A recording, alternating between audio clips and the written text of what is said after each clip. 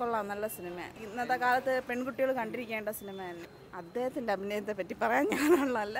കുറച്ച് നാളായിട്ട് ലാലേട്ടന്റെ സിനിമകൾ അത്ര പോരല്ലോ. അപ്പോൾ അത് വെച്ച് നോക്കാൻ നേരത്ത് അടിപൊളിയാണ് അദ്ദേഹം തിരിച്ചു വരേണ്ട ആവശ്യമില്ല.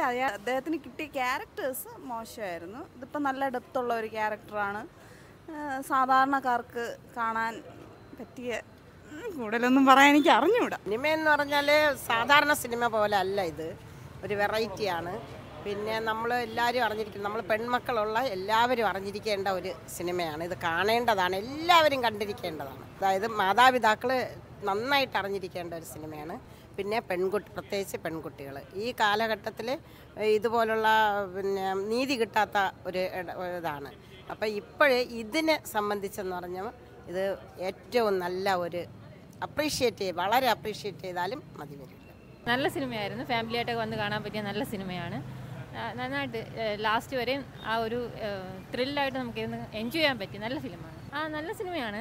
ഇതിൽ അങ്ങനെ പറയാൻ പറ്റില്ല. ലാലേട്ടൻ ഇതിനും കാട്ടി നല്ല ഫിലിംസ് ഒക്കെ ഇതിന് നല്ലപോലെ ചെയ്തിട്ടുണ്ട്. പക്ഷേ ഈ ഒരു സമയത്ത് ഒരു പക്ഷേ നല്ലൊരു തിരിച്ചു വരവാണ് അദ്ദേഹം കുറച്ച് നല്ലപോലെ വർക്ക് ചെയ്തിട്ടുണ്ടെന്ന് തോന്നുന്നു ഇതിനു വേണ്ടി. എനിക്ക് ഏറ്റവും എടുത്ത പെൺകുട്ടിയുടെ നന്നായിട്ട് എനിക്ക് ആ ക്യാരക്ടർ നല്ലതായിട്ട് ഇഷ്ടപ്പെട്ടു. നന്നായിട്ട് ആ പെൺകുട്ടി അത് ചെയ്തിട്ടുണ്ട്.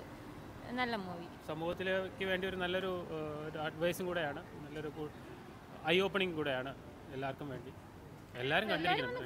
കണ്ടിരിക്കണം. ഇങ്ങനെയൊക്കെയുള്ള എന്തെങ്കിലുമൊക്കെ ഒരു ഇൻസിഡന്റ് ലൈഫിലുണ്ടെങ്കിൽ ഒന്നും മറച്ചു വയ്ക്കാതെ പുറത്ത് ആ കുട്ടി മുഖം മറിച്ച് മുഖം മാറ്റി വരുന്ന ആ ഒരു scene it is really worth one